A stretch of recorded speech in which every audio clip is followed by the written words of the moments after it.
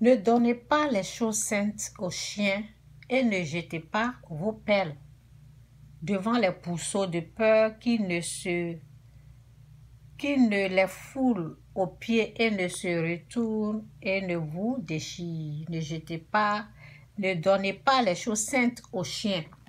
Donc, lorsque je viens dire que l'être humain n'est pas un sorcier, l'unique vrai sorcier, c'est Satan.